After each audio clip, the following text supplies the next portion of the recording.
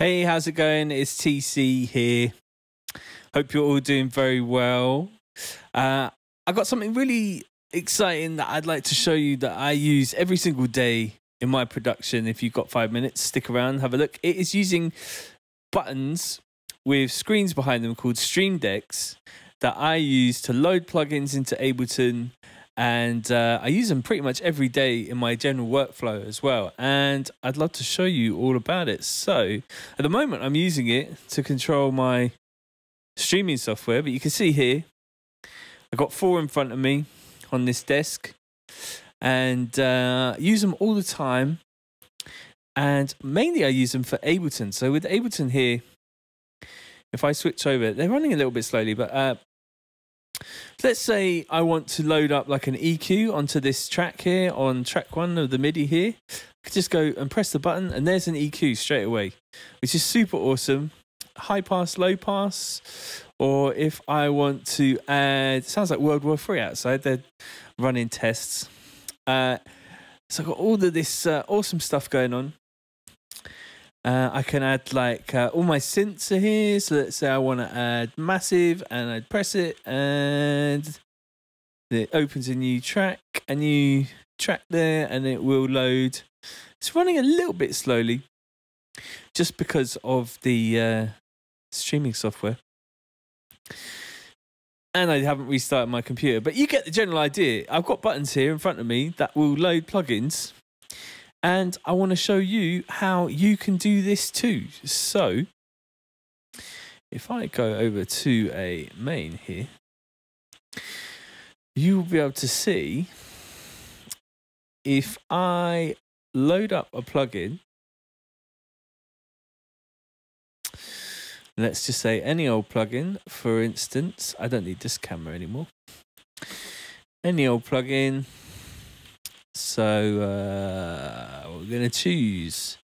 Let's just say an EQ, right? I'm going to want this EQ. Got it set up how I want. That's awesome. And then I can just uh,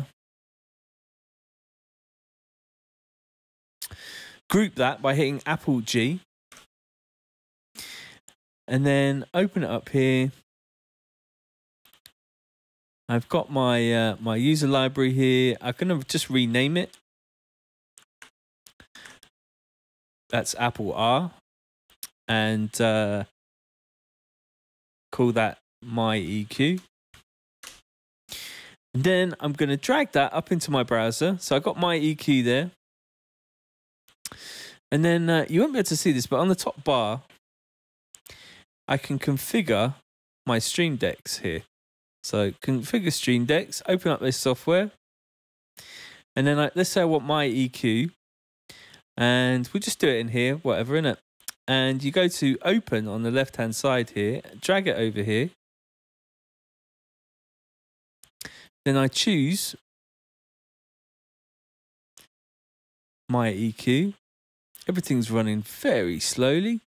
Uh, I've got my, oh, what happened there? Okay, we'll just choose it, choose there. And go to my user library, which I've put into my task on the sidebar here.